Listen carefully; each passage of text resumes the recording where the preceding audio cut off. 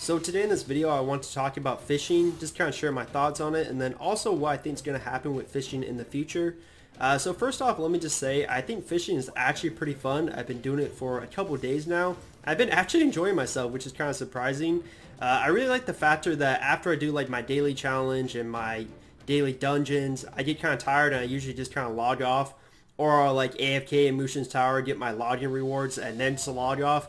But now there's an incentive to do, hey, let me just go do fishing. Like now I don't have to do purely just combat content. And I'm a really big fan of that because I like that you can just kind of chill, go fishing, see some other players in the open world, which I think is a really big pro because I really love this. I love seeing a ton of different players all in just this one zone. I think this is cool. And another big factor that I really enjoy is the fact that you go to older content. Like this area here, this area, you have no purpose to go here before fishing, like of course you did for the storyline, but then after that, this whole area is just completely dead.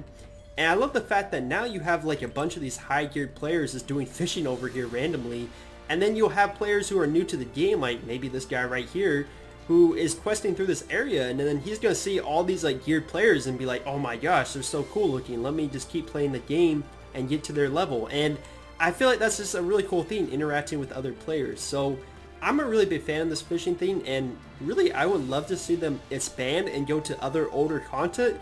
There's so many zones in Blade and Soul that are so dead now that no one does anymore, like all this area. Uh, so many more and I feel like they could really expand on fishing. To be honest though, just looking at the future of fishing, I'm a little bit worried and I feel like it will kind of become dead content if NCSoft doesn't step in and up the rewards. So right now you're probably thinking, Jarke, what are you talking about? The rewards are awesome. And you're right, they are. But the problem is the rewards are basically off the event that's going on. So if you see right here, all the great rewards like the Sacred Vials, uh, the weapon cost reduction fish oils, all the stuff you would want is all purely from the event. That's why you see so many people fishing in various areas like Gunwon City and here because they just want to do the event and get the rewards from that, farm out the sacred vials and all that. And I feel like once this event ends, the majority of players are not going to really feel like fishing because the rewards we have without the event are pretty bad to be honest. So let's just look at them. We have uh, a couple of costumes that, I mean, they're cool. I mean, if you don't want to do crafting to get them, you can do the fishing version and get them. But to be honest, how many people are going to do this? And then once you get them, you're done. You don't really care about them anymore. And the only other options besides that are the pouches, which are one, you have various little pets you can get, and then ordinary SP charm, which is nothing amazing. You get that just from being AFK.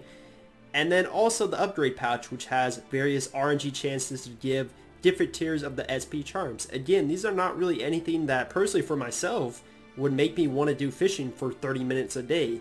And that's what I'm really worried about. I feel like the majority of players are just going to be like, oh, well, I don't really care about these SP charms. You're probably most of the time just going to get the 10,000 SP one anyways.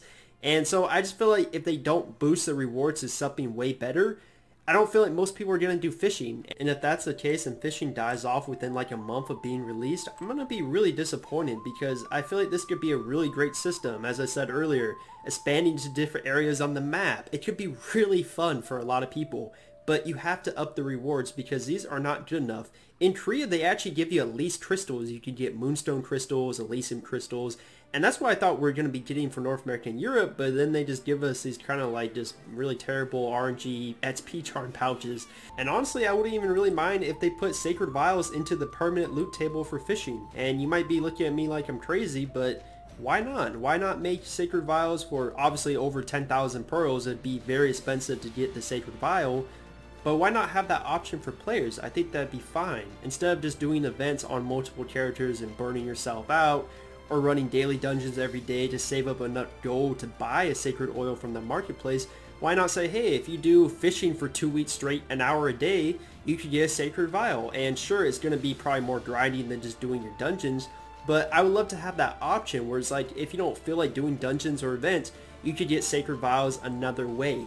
But anyways, guys, that's just my general thoughts on fishing. Let me know in the comments if you agree or disagree. I know we're going to have a lot of different opinions in the comment section, but yeah, I just really feel like they got to increase that loot table or it's just not a good enough incentive for players to take time out of their day to do fishing. I feel like people will just do the general stuff they always do, just dungeons and then just log off. Uh, but yeah, hopefully you guys enjoyed this little uh, discussion video. If you did, make sure to leave a like and sub to the channel. And I'll see you guys in the next video real soon. And also let me know if you enjoyed this new mic. I definitely feel like it's much clearer than my other one. And uh, hopefully you notice that too. Anyways, I'm out.